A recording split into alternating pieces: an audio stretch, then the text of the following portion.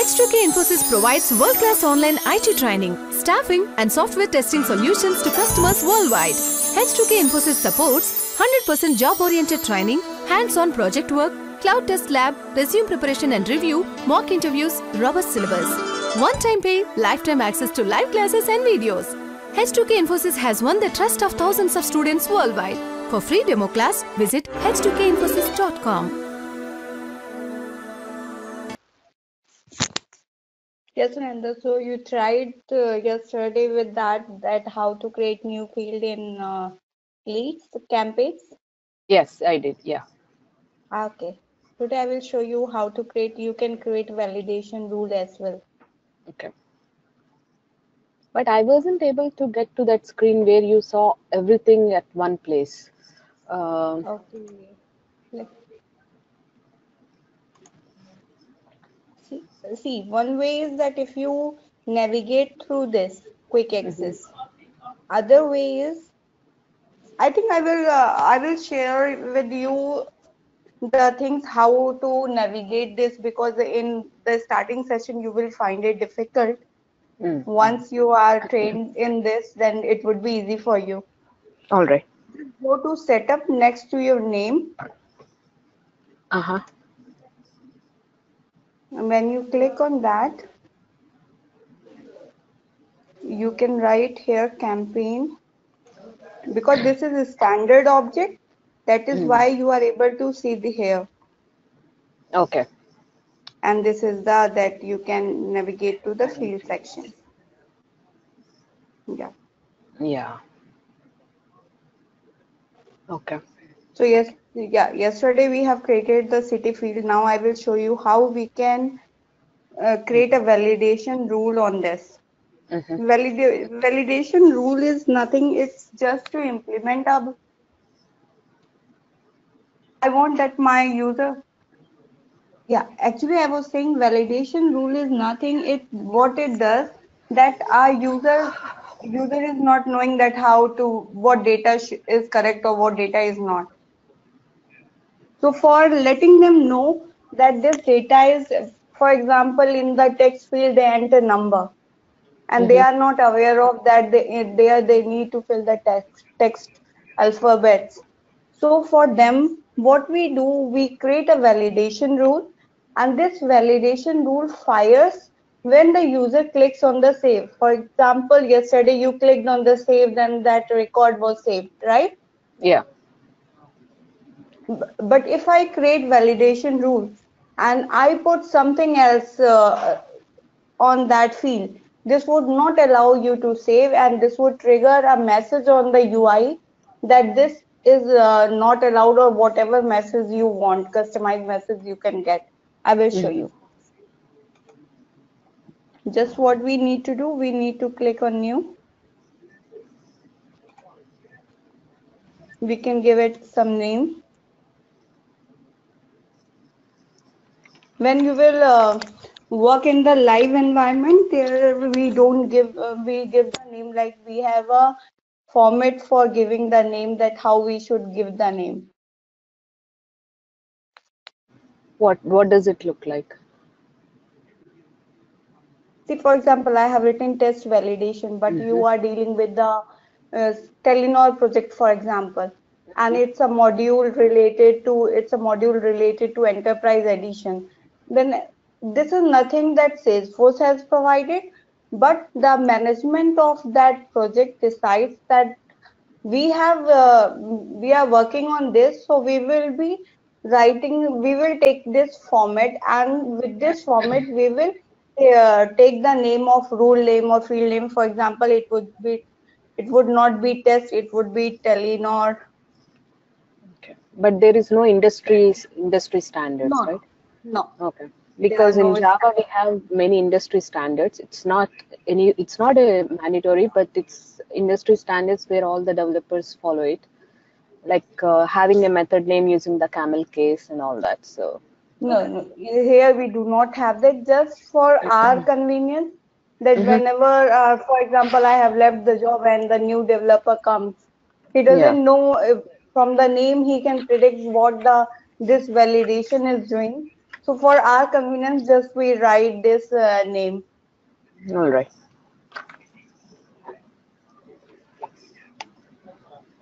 I will open this in another tab.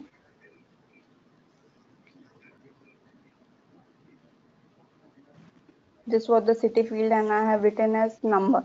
Mm-hmm. So now I want uh, that city field should not, if I enter number, it should not save. Mm-hmm. So in validation rule, here you will give the name, any name you can give. Okay. Description, what this would be doing. This is not mandatory, but you, we should, uh, in our practice, it should be there so that uh, whenever uh, after a long time we also check the same validation, then we should be aware of what it is doing. Mm-hmm. City should not take number.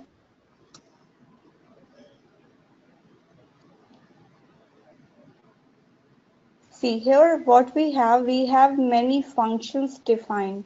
Mm-hmm. ABS for finding the absolute value and for that uh, two things we want to combine. Blank Yeah. value if you want the blank value. Mm-hmm.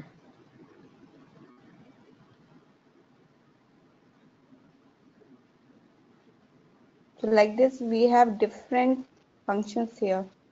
Okay.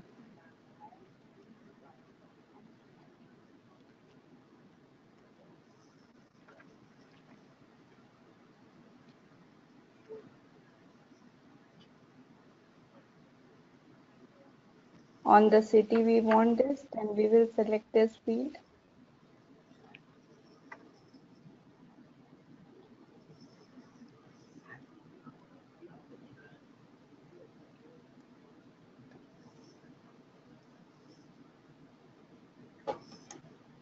How did you get that city field? You just said insert field. Yeah, yeah, just insert field. When you click on this, Mm-hmm. this is campaign, right? Uh-huh. And now these are all the fields which you are able to see here. Ah, okay. So these are all the fields. And these are the things I would be explaining you afterwards because Yeah. these are the things related to new topics which you are not aware of. Uh, so I would be explaining this you after this topic. So Mm-hmm. from here you can select the field. Mm-hmm. This is its number. What it does, it returns true if the text value is a number. Otherwise, it returns false. Mm-hmm. So I will insert this selected function.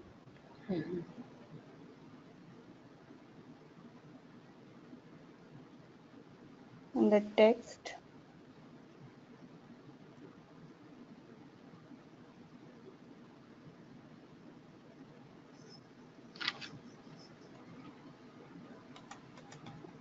There, if you will check, there we have not function.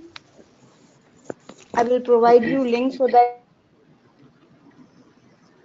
uh, you can do a practice with more of the validation rule and Okay. Are clear about one object, you would be doing the same thing in different, we can implement different business logic for the different objects as well. Now I want this now. This is just the format how we should write. And this is check syntax is there. It is for the thing that you can check what formula you have written here is uh, syntax wise correct or not. In error message, I can write any customized message, whatever I want. So I'm uh, writing field value should be in text or letters, whatever you want. Yeah.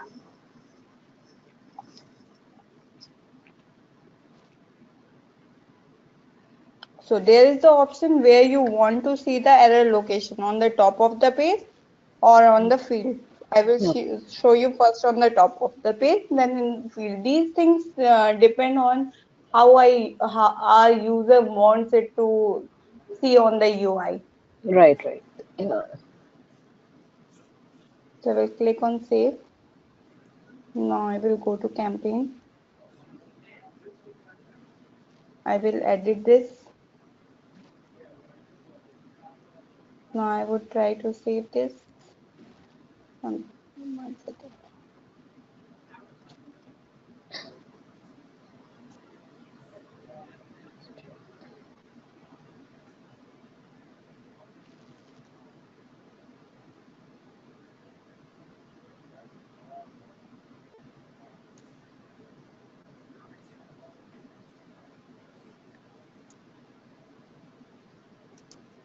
So sometimes the, that formula does not work, so we can try it with the different. But how does it know here which field are we trying to? Yeah, that actually that formula what I have written that is not the correct one. That is hmm. why so we can take different functions till the time our what our requirement is that is not getting satisfied. You're able to hear me, Surinda, right? Hello? Only now I am able to hear. I don't know what Okay, okay. happened. What did you say before? Something, yeah. No, no, I will tell you. Okay. Here I will enter the field city.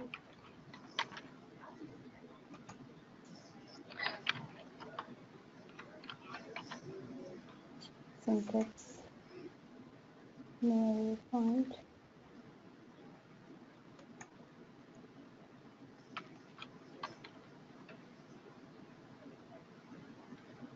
C. Field value should be in letters. I will tell Mhm. you what was the mistake earlier I have made actually. Yeah. hmm Yeah.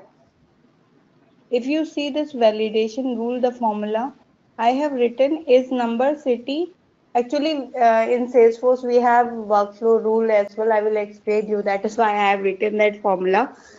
So what happens in validation rule while uh, when you are creating a formula, it should be, for example, I don't want city to be start with number.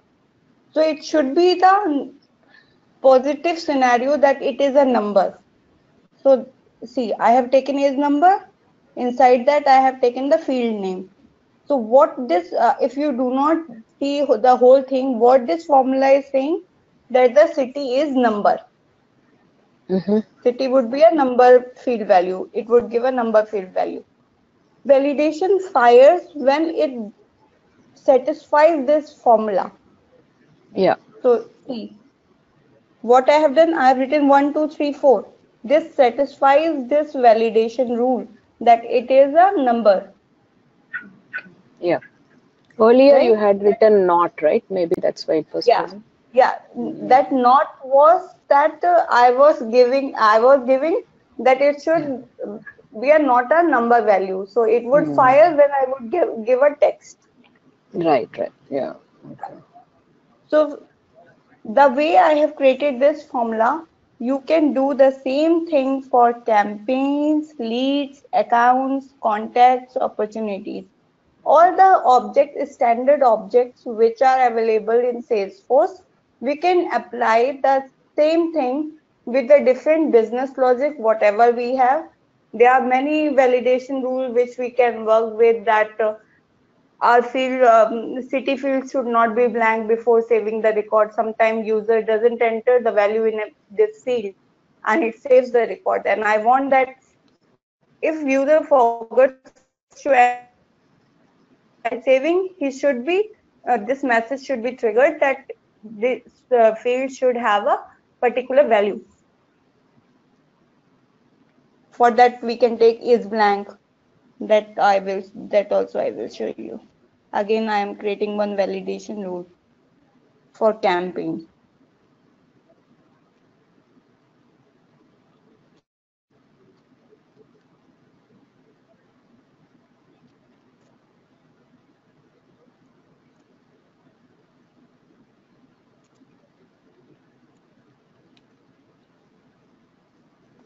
And if you uncheck this active checkbox, this cam this validation rule will not trigger on saving the record.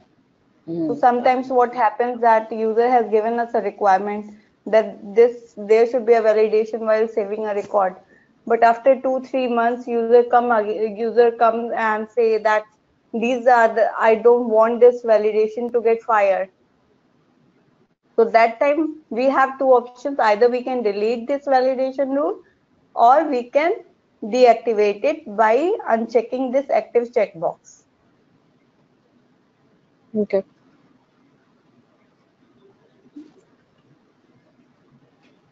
Is blank.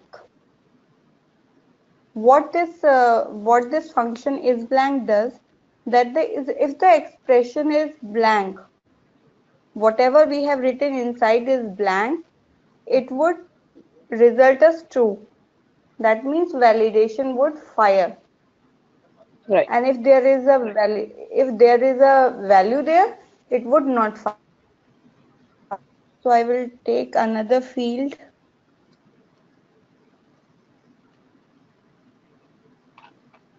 Actual cost in campaign and whenever we are writing the field uh, in the validation rule these are the label names. So we don't take label names. We take the api name. I will show you. For example this type field is uh, budgeted cost in campaign. I want that whenever user enters this fills this form this field should not be blank. There should be a value in this. Because if uh, now I if I give the correct value here it in text it would allow me to save the record. But I don't want I want if the user has doesn't fill this uh, box then it should not be allowed to save the record. So what I will do I will copy this uh, label name from here and from the quick access this uh, yesterday i have explained you that this is the early this is the easiest thing we can go from here. Mm-hmm.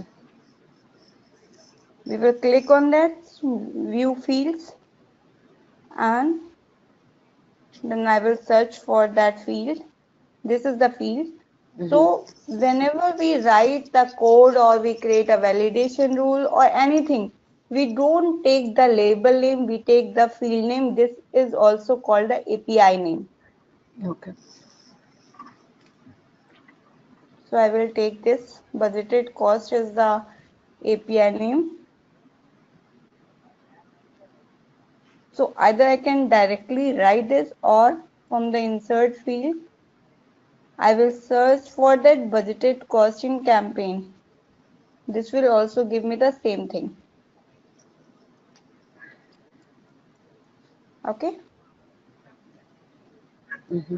so so now what is happening what this formula is doing?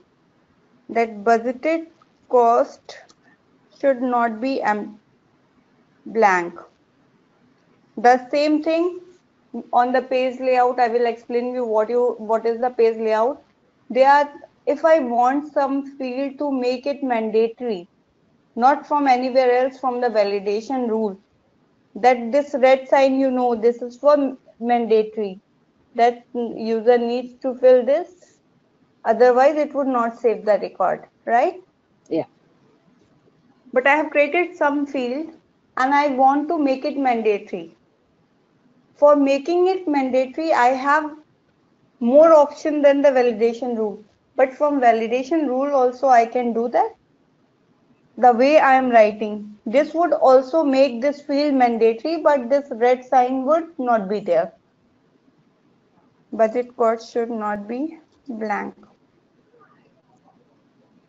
What this formula is saying that budgeted cost is blank. This is saying this. Mm-hmm. And the validation would fire when we get the positive value true value from this formula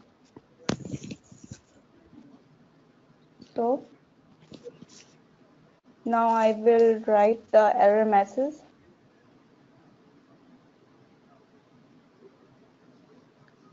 field should not be blank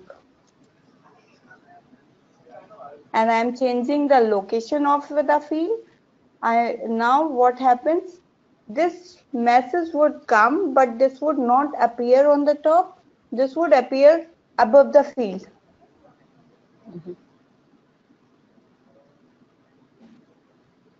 And we know that I have selected this field. So this would fire from here. We would select the field name that Yeah. whom, for which field we want this. Mhm. So I have taken this field. Now I will save this.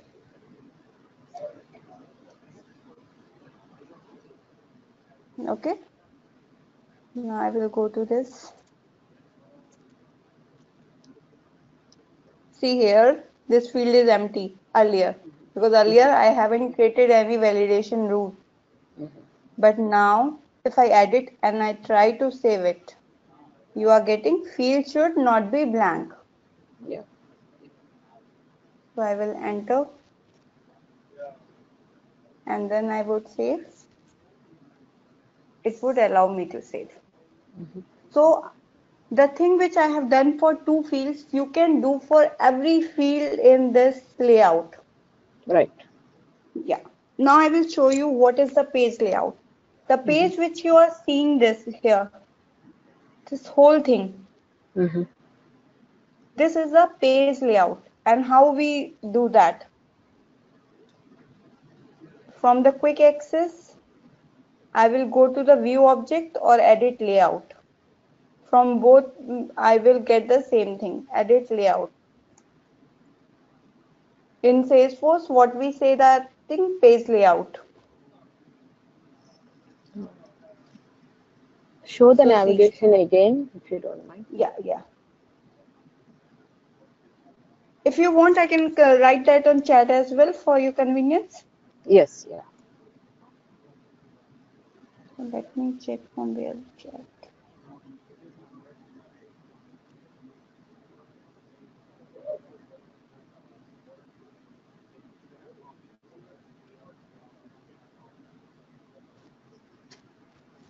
From the quick access, just click on that.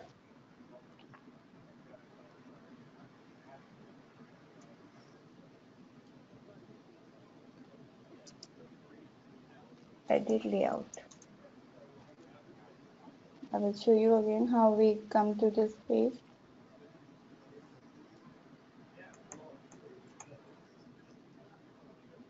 Click on the campaign, whatever you have created. Mm-hmm.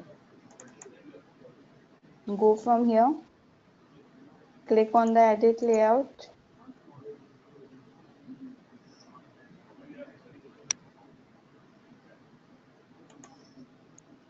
Yeah. now this page is open. Okay. So if you see in campaign, my city field is placed here. You can see in this cam campaign. This is the how we design the layout. See, city is here. Now I am changing the position of the city. Mm-hmm. Below type, I have dragged it to the below type. Okay. And I am saving. You can save a record by clicking save. But uh, when you click on save, it would go to the home page. It would come to this page when you click on save. Okay. But when you click on quick save, it will not uh, be redirected. The, that layout page would be there. For everything in goal- Salesforce, the same. Yeah. So, but both of them saves the loca- uh, the, Yeah, the the repositioning, right? Yes, yes.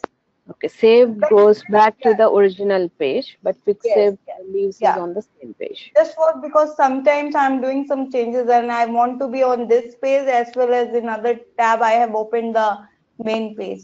Yeah. So for that, if you are working and you are checking, you can click on quick save. But if it is a one-time change and you know that you have done that change, then you can click on save. Okay. Now see, city field is behind type. hmm So here, when you will check, city field is behind type. Yeah.